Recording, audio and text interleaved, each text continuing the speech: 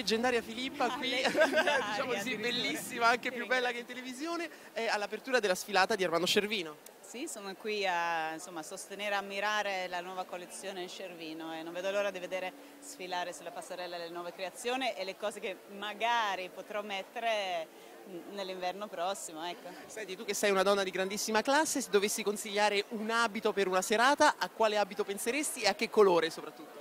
Ma mm, è, è molto difficile consigliare eh, così senza vedere la persona. La cosa più importante è vestire l'abito e l'abito non deve vestire te. Ecco, sentirsi, eh, sentirsi a proprio agio dentro un vestito è importantissimo.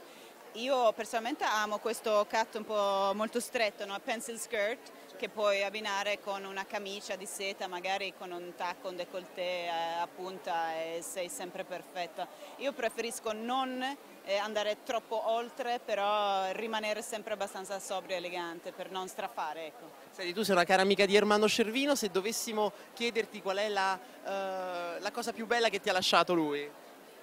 Ma lui è una persona eccezionale, eh, modesta, molto carino poi ha dei modi di fare che apprezzo molto, ma ovviamente eh, mi colpiscono i suoi abiti che ti fa sentire sempre molto femminile, molto elegante, sempre insomma perfetta e quindi sono un grande fan, amica del brand.